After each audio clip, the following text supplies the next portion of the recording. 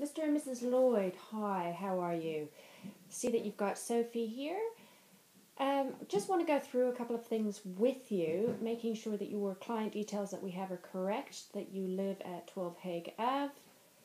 Is that correct? Okay, and your phone number and mobile number. You want to just put that down on the sheet. And also you'll see on the sheet that we're asking for Sophie's date of birth, uh, where you purchased her from, um, if she's up to date on her vaccinations, um, whether she's been microchipped, and if you you should have been told to bring the number with you. Oh, great, you have. Okay, well, what we're going to do is just put all that information into our system now, um, just so that we've got it for future reference, and we'll be able to contact you when she's needing uh, her flea treatment or worming or her annual vaccinations. Um, with her stuffed animal that you've pr- brought in, I'll just write her name on the tag here so that we uh, don't lose it and it comes straight back to you. Okay, that's great. Okay, now what we're going to do is before we go through uh, to the clinical exam, where you will meet uh, Melissa, who is the vet on today, and she will be performing the surgery. I just want to run through a couple of things with you. In the clinical exam, uh, Melissa will be asking for, um, she'll be checking Sophie, her, her, joints, just to make sure that, that she's uh, not getting any dysplasia, um, which is quite common with Labradors. Um, and um, just making sure that her teeth are in good condition, um, her skin and coat um, and if you have any questions that you can think of at that time, just feel free to ask Melissa. That's what she's wanting to get all the information from you. Now, what's going to happen for the surgery is that once we take her through and she's weighed, um, we will be pre-medding her, um, which is just a relaxer that should take about 45 minutes to kick in. Um, and then once the 45 minutes has occurred, she will be put under general anesthetic for the surgery.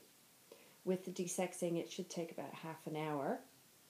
Um, and then at that point, when we're recovering Sophie, Melissa will give you a call and just let you know how uh, the surgery went and if there were any complications at all, which I doubt at this point. Um, but as you know, you never know until you get into the surgery. While she is in her cage recovering, she will be constantly monitored, so don't worry about that. We have we will be making sure that she recovers fully and that there's no issues. Um, and during the day, um, she will be fed more pain medication will be given to her. We'll be making sure that the wound stays clean and uh, we will make sure that the bandage on it is nice and clean and dry before uh, she is discharged for you. Um, before she goes home, we do like to make sure that they have eaten um, and have toileted, uh, just to make sure that they're that they're recovering fully. Um, and what we'll do now is we'll just make a discharge appointment for you, probably about five o'clock if that's all right.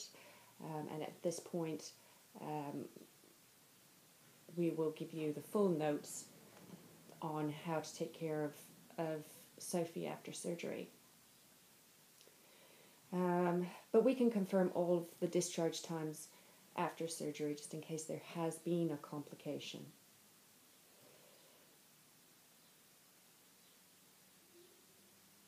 What will happen at the end of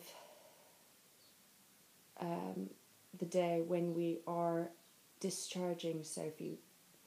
Um, we will explain again that those she will need to come in in three days to make sure that there is no infection occurring, um, that her that she is beginning to heal correctly and and healthy, um, and her stitches will need to be removed after that in 10 to 14 days. Um, while she is, um, while she still has her stitches, uh, she will need to be toileted on a lead just to make sure that there's no stretching or pulling. Um, we will give you an Elizabethan collar for her as well, just um, just to make sure that she doesn't pull or rip the stitches out. How she'll be after tonight is she may feel a little bit lethargic and be off her food a little bit, which is quite normal, uh, especially after general anesthetic. If you do have any concerns, please feel free to give us a call. We're here until 6.30 tonight and then we're open again tomorrow at 9 sorry at 8.30 um, we will be giving you in her discharge pack some medication which the vet will go through with you at how to how to administer it um, and once again we'll go through with you um, the toileting and um, how she will be feeling, um, any concerns that you have at that point.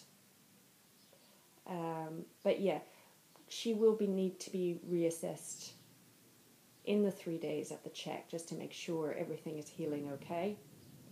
Um, we usually have expect to have full payment uh, upon discharge, um, and at that point, uh, if you've got pet insurance, please bring your uh, claim number in with you and we can do the paper we can file the paperwork for you from here um, if you do have an issue with full payment then I will get my I can get my manager to give you a call and organize regular repayments for that. Do you have any questions? Great. Thank you